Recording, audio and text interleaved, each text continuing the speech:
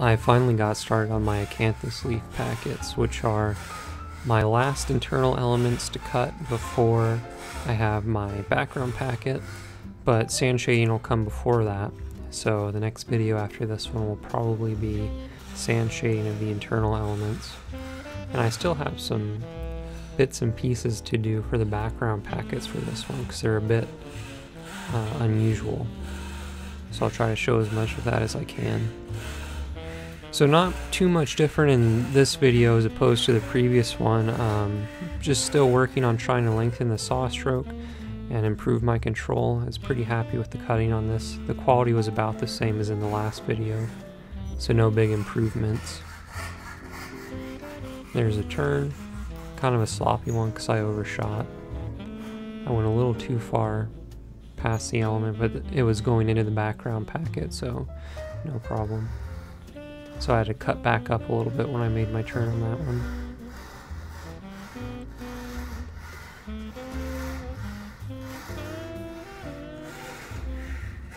I should be getting some new camera equipment too, so hopefully that'll help out with some of these close-up shots. There's another turn, so I can get a nice 90 degree corner down there. Yeah, all in all, the cutting went good on these. Um, was able to maintain a pretty good saw stroke for most of it. There were a couple of tiny pieces on here where I started getting focused on hitting the line a little more than focusing on the, the stroke, so it shortened up in a few spots. But overall, pretty good. There's another hole there so I can make another sharp turn.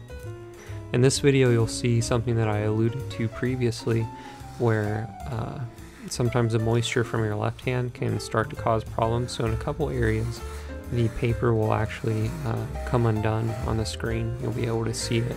So the motif will actually start to come off the packet. So there's a couple things that you can try to do uh, to combat that, and you'll see it when, whenever that pops up.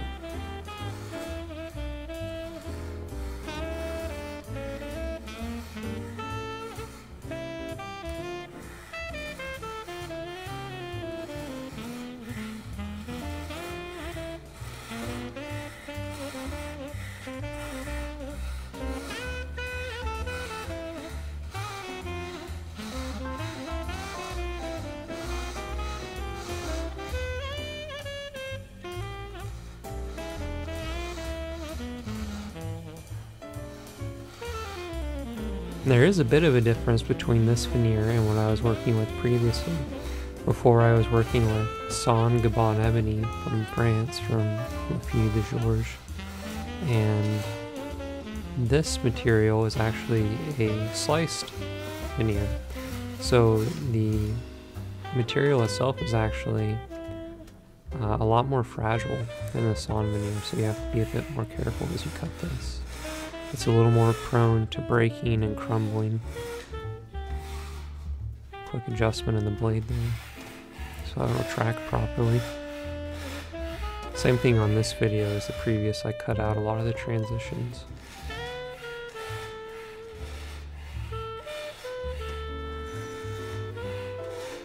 So as I started cutting this packet, because it's slice veneer, it's actually easier to saw through it um, as far as uh, the amount of pressure being able to cut the packet. So the same amount of pressure here will actually cut more distance than on the previous packet, if that makes sense. Um, that can be good and bad. For me, that usually tends to be bad because it means that uh, the blade goes faster during the cut. So you have to work on the control a lot more. So these first few pieces, I was uh, in some spots leaving the line a little fat and then going back and shaving so it wasn't as smooth as with the ebony packet but after a few pieces I got used to it.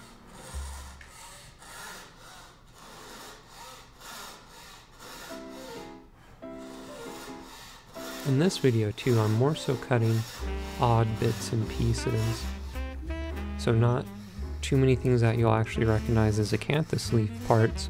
Most of these are bits of uh, flower stems. You can see there coming up on the right side of the packet the actual acanthus leaves, and those will be really interesting to cut. Lots of twists and turns, and also some interesting engraving lines that uh, you know, will have us blending techniques. So it'll be a bit of piece by piece and Boulle technique mixed together for those. So that'll be a lot of fun. But all of this in this video is pretty straightforward cutting.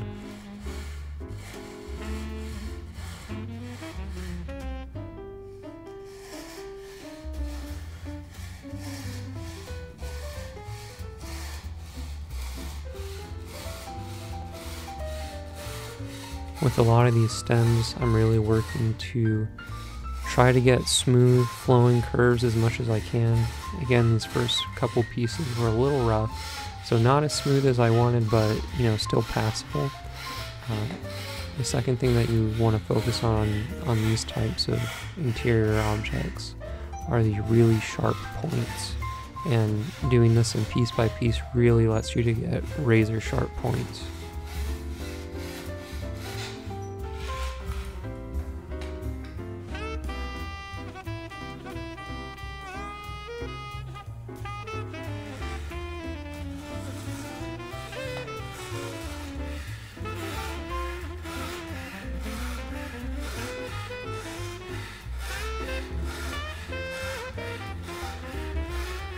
One thing you might notice is that I always start on the pull stroke of the saw because just like a traditional western saw, these teeth cut on the push orientation.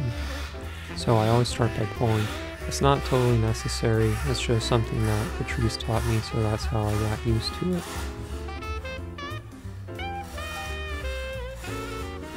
This piece, the curve came out pretty nicely.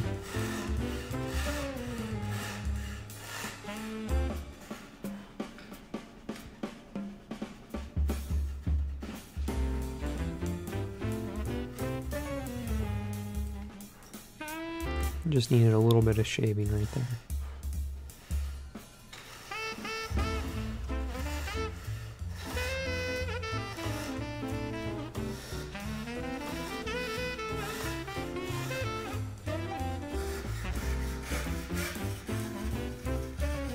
The material itself is actually a curly sycamore that's uh, dyed. I got this from Patrick and Patrice. I'm not sure where they got it. But most of the greens, if you look at their work, um, most of that stuff is uh, material that they've dyed themselves using an incredibly complex recipe.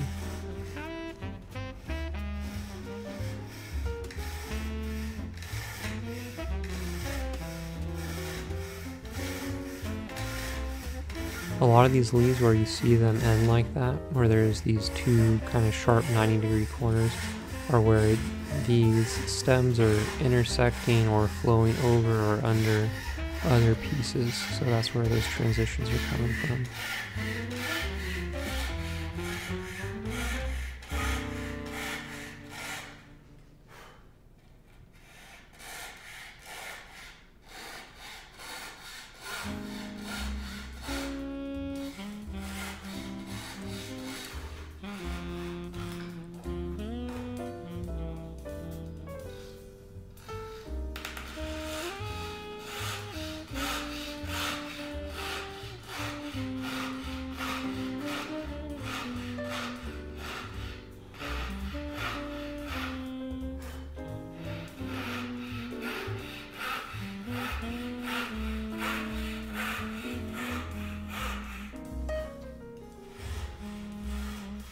One thing you'll also notice with a lot of these pieces are how thin they really are. I mean, some of these pieces, just like with the letters, the interior space is really only, you know, half a millimeter or something like that.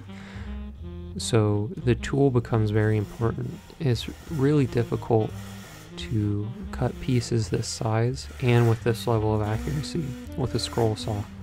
And I really like scroll saws, just not for uh, work that requires this much precision. For this kind of stuff, you really either need to cut it with a chevalet, or with a handheld fret saw, or with a treadle foot-powered overhead saw.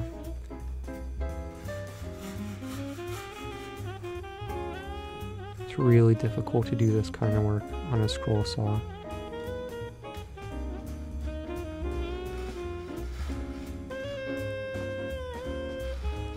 A lot of times really tiny pieces like this will just get obliterated by the blade.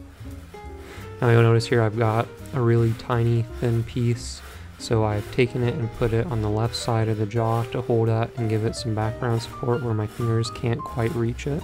Not necessarily because I, I can't um, physically get my finger in that location, but because I couldn't quite get it there and actually give any kind of meaningful pressure in that position. Whereas now that I'm down a bit, I could move my thumb in there as you see and then pinch that, but before I just couldn't apply pressure there. So I was using that jaw and so now I'm still using that jaw in conjunction with my hand to give as much stability as I can until I get into an area where it's a little thicker and there's a little more material supporting it.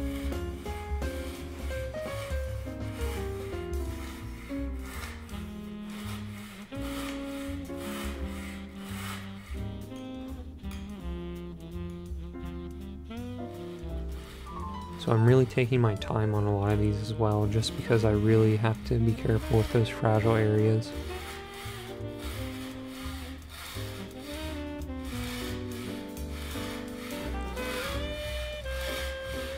So you can see with my, my left hand, I'm really pinching it hard, giving that support where it's needed as I start to exit the cut, so that nothing breaks off as I go. And this will actually help give a really sharp tip to this point.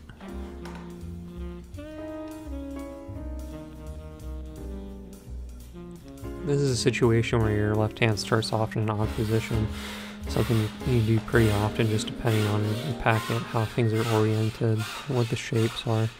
So sometimes you have to start with your hand in this position here. And then just transition over, no big deal.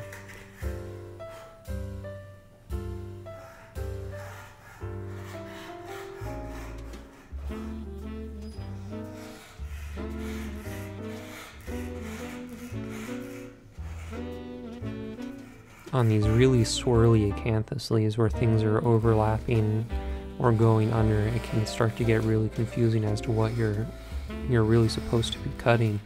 So it's it's important to take a minute and plan out the cut before you start each time, so you don't start to cut the wrong line. Because it's really it's really disappointing to have to go back and recut the paper piece, reapply it, and then cut it again. So here you can see there's another tiny piece nestled inside of this one, but that'll be cut separately because this is piece by piece. So as I come around and I cut this piece out, it would actually take part of the line from the other. So I have to cut that one separately. That's that little piece nestled right in the center. That kind of mirrors the piece that I'm cutting now.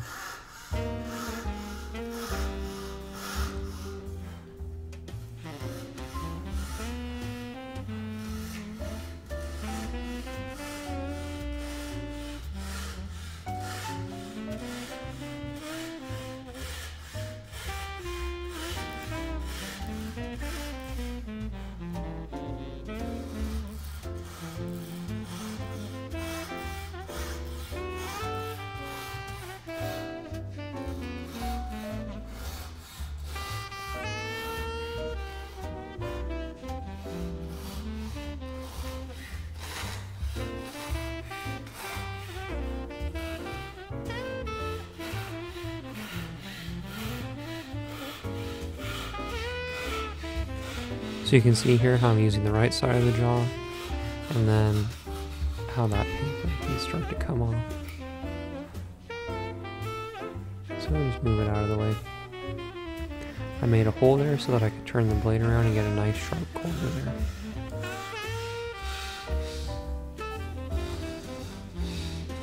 So again, you know, using those jaws to help support the piece, really important. Just becomes a regular part of your work.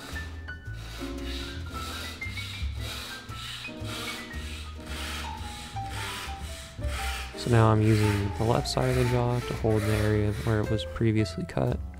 And then I'm getting to the end there. So I, I move the, the part of the paper that's coming off. And then I bring my left hand in to hold that piece. And then again, cutting with very light pressure so I can get a nice sharp corner.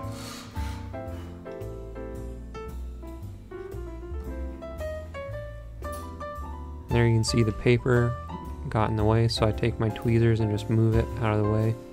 And then I can finish my cut.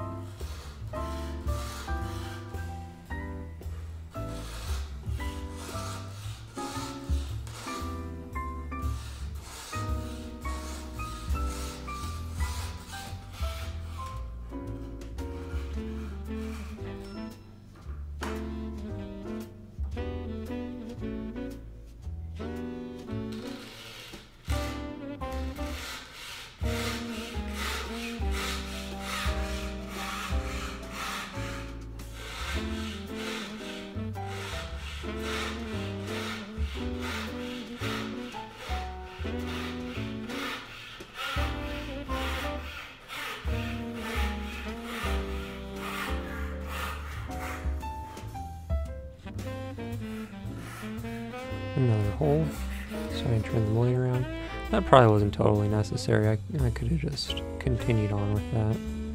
But it does give a little sharper corner right there.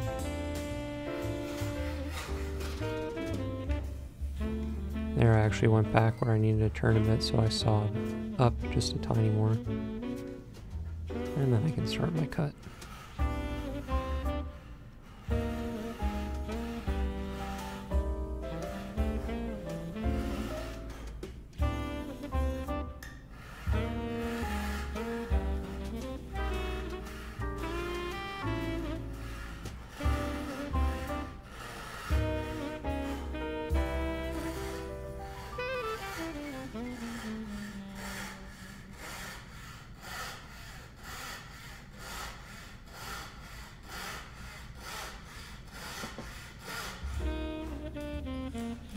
These long, gentle lines are nice because you can get through a lot of area quickly.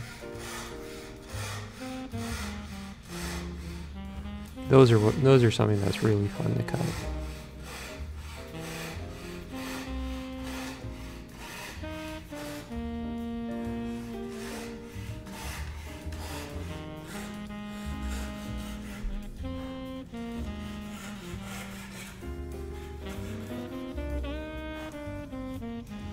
So I make a hole so I can make a nice sharp turn. Same thing over and over.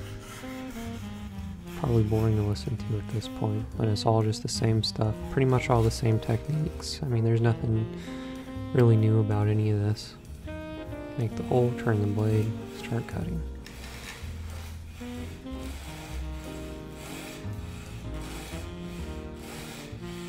I remember the first time I saw Patrice's piece by piece packets, and his holes were so tiny you can barely even see them. It was incredible. The efficiency and accuracy that he turns the packet around is just incredible.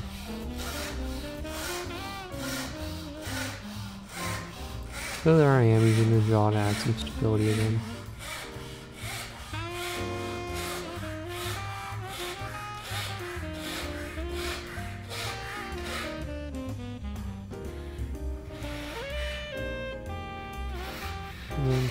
Piece, finish the cut.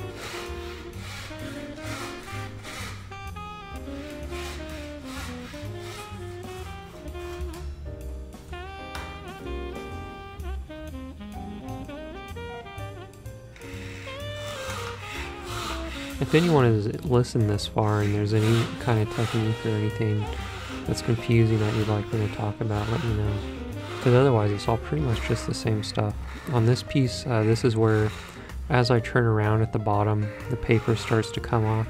So I do a little trick where I lick the uh, tip of my fingernail on my thumb and I press it into the paper and that will sometimes uh, re-adhere the paper back down to the veneer well enough so you can finish cutting. It kind of worked here.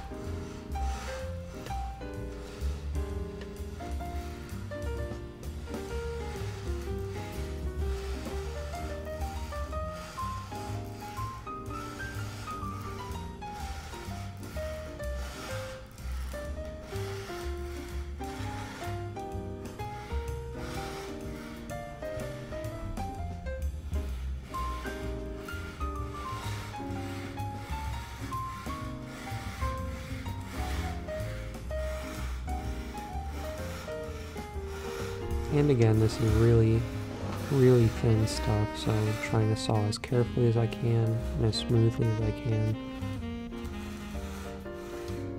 It really is a good exercise in focus. You really learn how well you can focus when you're doing things like this, where you have to be just dead on. Okay, turn the packet, cut the sharp corners. And as I come around, I think this is where the paper comes off which is annoying, but you know, you get used to it. And again, I think it's because of the type of computer paper that I use and print this on. I'm gonna actually see if I can get a really thin computer paper for the next time I do a marquetry project and see if that makes a difference. So there you go. So there you see it starts to come off right there. So I see it. So I lick the tip of my uh, fingernail and I press it on there. So that'll kind of push some glue onto the surface. And it slightly works. It comes back off after a second, but it gives it uh, gives me enough to get uh, far enough in the motif to where I can actually finish cutting the piece. So it sticks down enough of it so that I can finish the cut. So I'll press it down into place, make sure nothing moved, and then I'll usually blow on it for a second and then start cutting. You can give it more time too and it'll work better. It'll give more time for the moisture and the glue to to work together to stick it back down.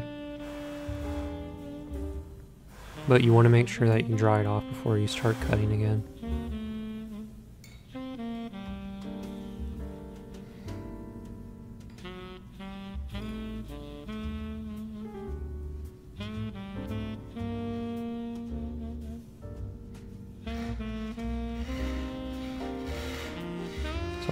Just enough to finish that section.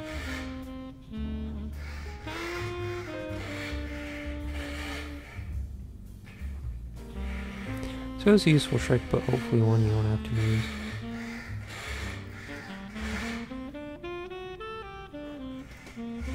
now it's at a point where I can grab the piece and give it some support.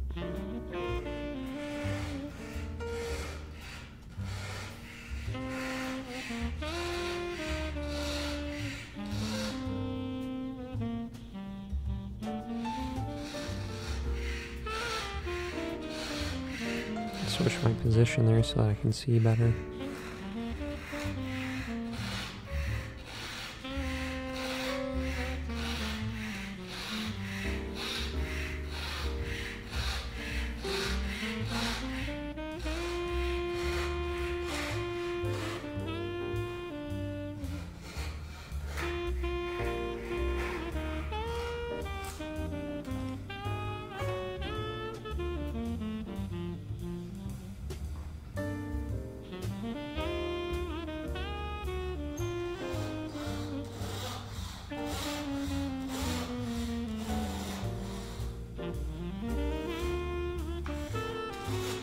This piece coming up is the most difficult piece that I cut in this video.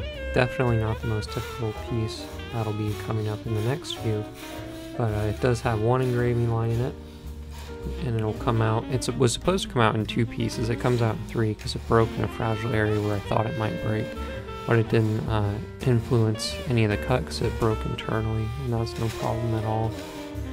First you'll see how I cut around it and then I cut through that engraving line to separate it into two separate pieces.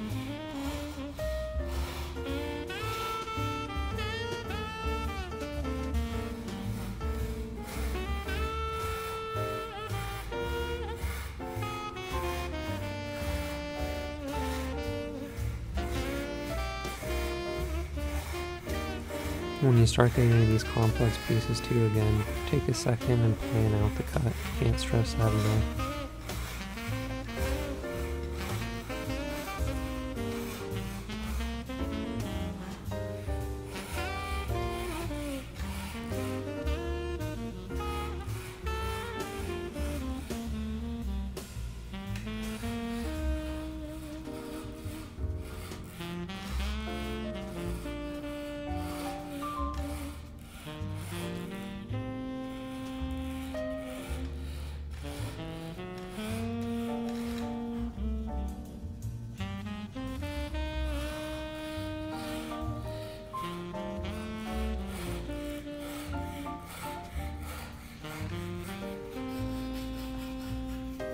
So I come around there, that one has a sharp corner on it, so I make a hole, so I come back, make sure that's a nice sharp tip on that leaf. Again, you can see how that paper wants to come off.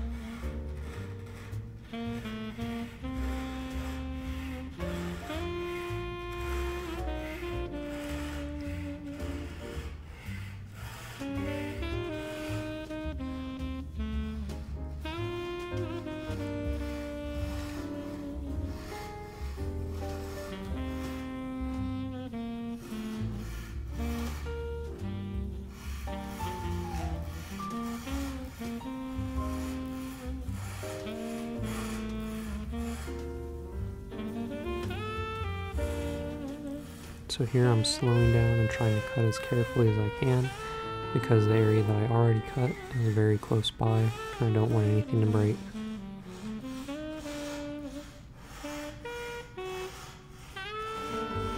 I also know that I have a really tiny fragile area coming up so I need to cut accurately.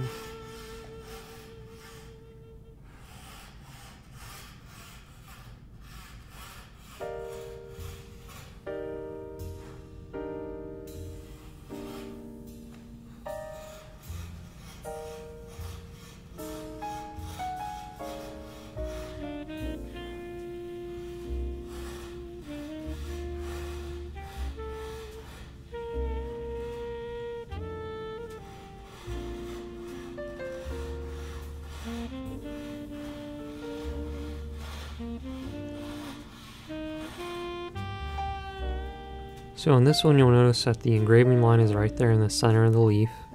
So sometimes with these types of interior elements you'll cut the engraving line first and then uh, come back and cut the rest of the leaf. That's really common. Here, because I'm cutting piece by piece, I need to keep the line on the left side of the blade. So if I were to go down that engraving line, which I can treat like a Boulle line, where it doesn't really matter if I follow it exactly or not, you know, if I come around that corner after that, then the line will be on the wrong side of the blade, and I would have to cut blind the entire side of this leaf that I'm cutting now. So you really want to avoid that. That's where the planning really comes in. So here I'm cutting down this side, the line is on the left side of the blade, so the right, which would be a blind cut.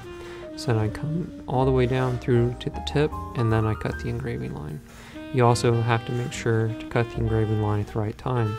If you come through and you cut out that whole leaf and you get the end, and then you have to cut cut that line, there will be nothing supporting it on either side, so it'll be really likely to break out very badly. Or sometimes you'll go through and you'll cut it and you'll forget the engraving line entirely because you waited too long and you left it for the end. And now you just have a, a piece that isn't going to have an engraving line after all.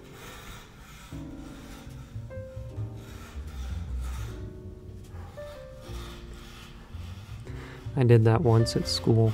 I had one leaf, and I think it was one of the last few. a really big project I was working on.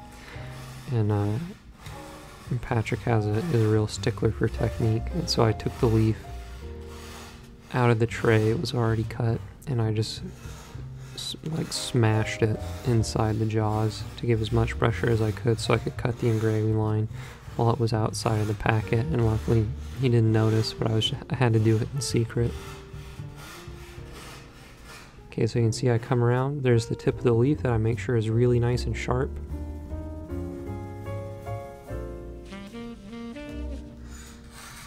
Okay, I double check that I went far enough, then I can make my hole. And now I can start on my engraving line. So here, we're treating the engraving line the same way we would treat one on a Boulle piece because the interior elements are going to fit together no matter what because this line has no bearing on the fit of the exterior pieces. So here, I'm still following the line carefully just because that's the way I drew it and that's how I want to look. I want it to look, but if you were to go off the line a little bit, it wouldn't be that big of a deal. So here I'm just trying to saw as carefully as I can, just because I like how that line looks and you know, I like how it was drawn. So you can see as I come through to the bottom, I finish off that line so it actually separates into two different pieces, which is what I want because at the end this leaf goes together inside the background and that interior engraving line gets filled with mastic and that becomes an, an accent. So that line is actually that I just cut is actually supposed to be visible. So you can see now the leaf is going to be separated into two different parts. And as I mentioned before, it broke right down at the, the thinnest point, but it didn't matter because it was a clean break. So it really should have been two pieces total. It comes out as three, but it's no big deal. Now here, as I get started, one thing you'll notice with a lot of people's leaves, if you look at them, at the tips, when they have an engraving like this, there will be a gap or a hole because they start to cut sloppily. So here you want to be really careful and really intentional with your cutting so that you get a nice smooth clean cut at the tip of the leaf so you don't end up with a little hole right there at the top.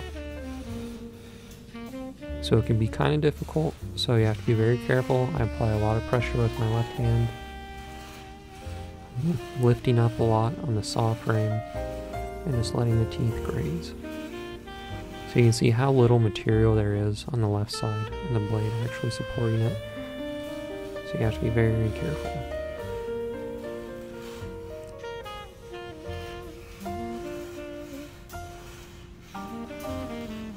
So here, I'm really cautious about the turn because I'm trying not to break it. And now I can be a little less cautious because I'm going into an area where there's more support.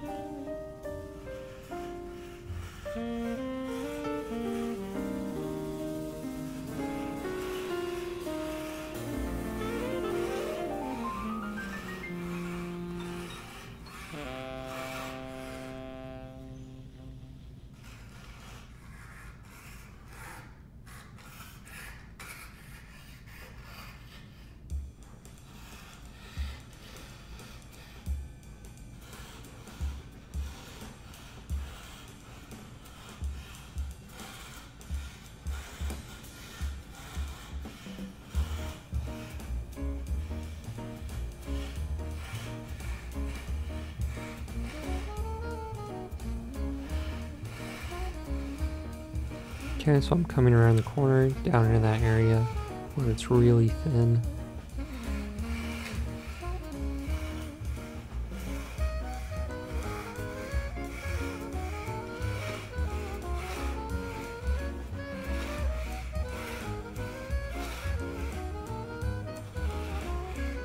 So you can see my fingers are really close to it. I'm applying pressure, I'm sawing well, but it still breaks. So sometimes you can be doing everything that you can and an area that you planned out is just too thin.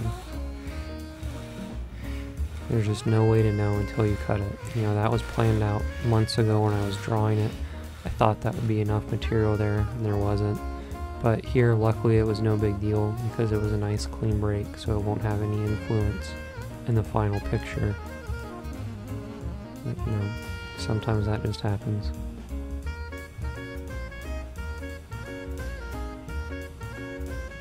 There I'm using the, the tweezers to push it out through the back.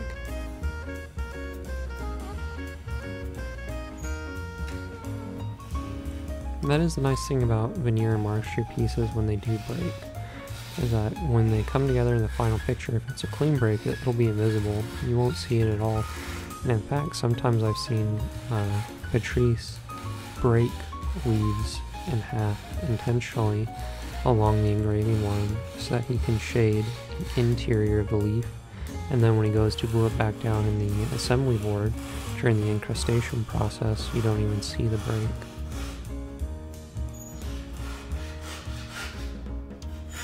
A little hole and I can finish off that cut with nice sharp corners.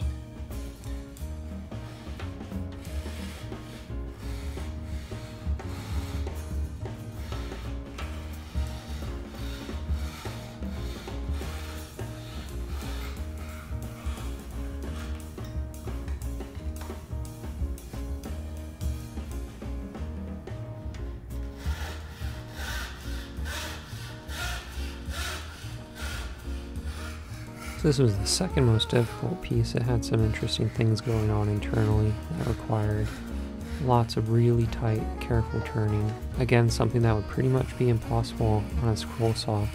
I don't mean to speak down about scroll saws because some people do incredible work with them, but I don't think you can do it quite with this design. I think you'd have to modify the design. And you'll see what I mean I, once I get in inside the piece here and I turn around that outside edge.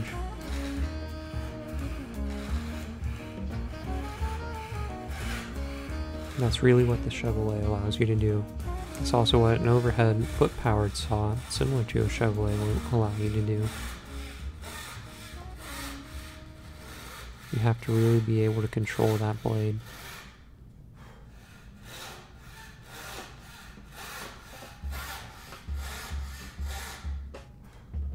Or you can cut everything in as double bevel marquetry on a scroll saw, and it'll all fit nicely. But again, you won't be able to get really, really small details like this.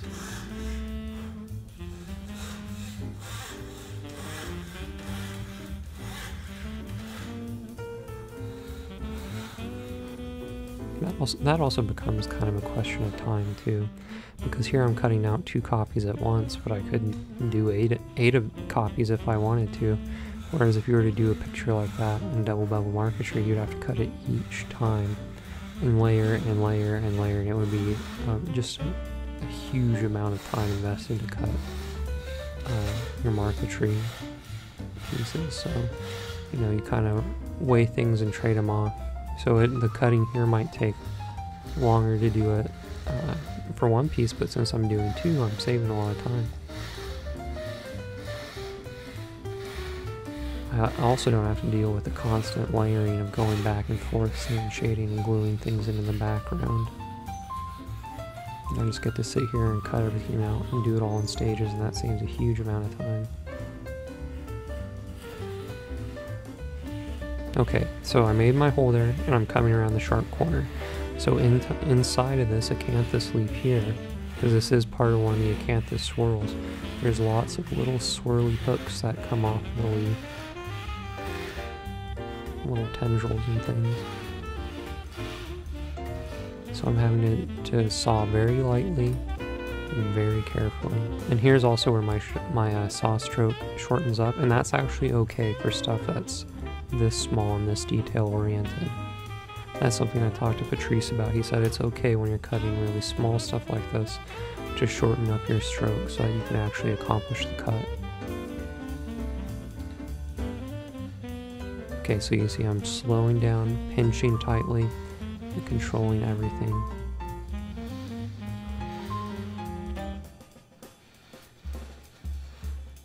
So I have a tiny, tiny corner I'm coming around here.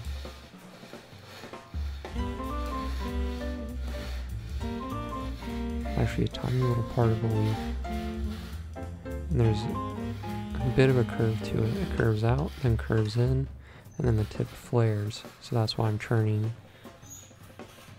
out here as I make my hole. Because I was actually making my hole kind of as I was finishing the tip of that portion of the leaf. And then I can come back down the other side of it. So I take a second and I'm planning out what to do next.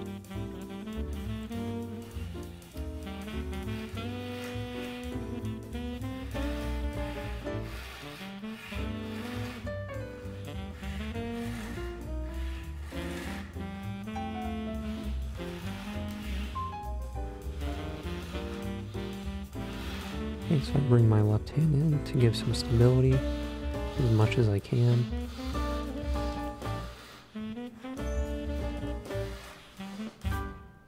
You can see how unstable it is though with uh, the cut that I've already accomplished, you know, cutting away any support it may have had. So here I'm actually stopping before um, I continue the cut to make sure that the background veneer is uh, uh, hasn't crumbled away, that everything is, you know, exactly where it should be, so that as I come around this corner, nothing gets snagged. Because I felt that the background veneer was starting to lift just a little bit, so I was making sure it was all pushed into place.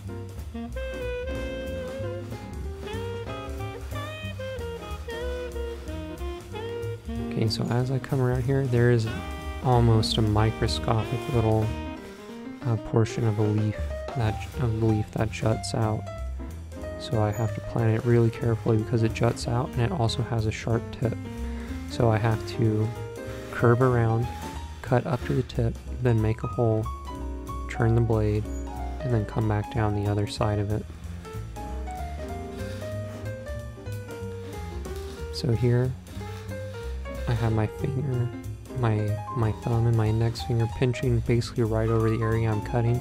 So you can see how I'm actually bringing the level uh, my eyes down to meet the line. So I'm actually kind of looking under my finger while I finish that.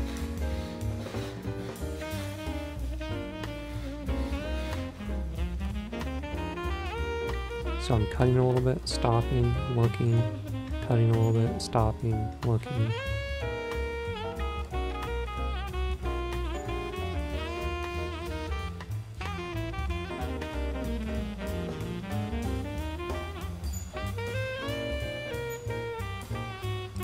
Turning the blade around. Trying, trying to use the jaw as much as I can to add support.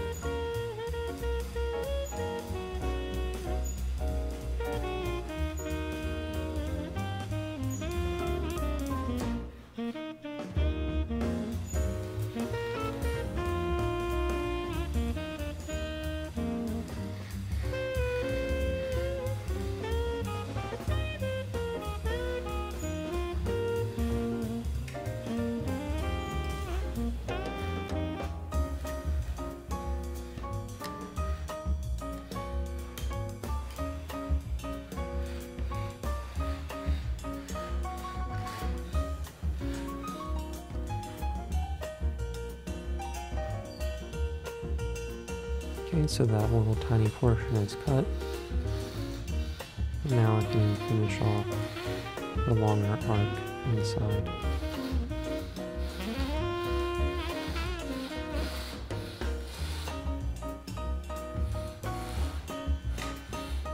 I'm still using my left hand to really support everything that I've previously cut.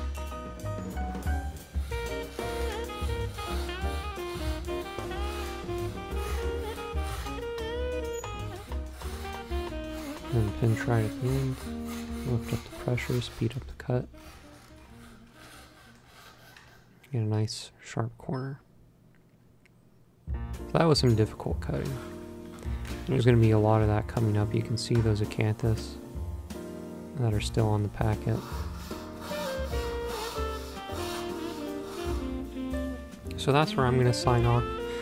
Uh, the rest of this cutting is pretty straightforward and simple. Nothing too wild. So after this, I imagine the next three or four videos will still be cutting the acanthuses.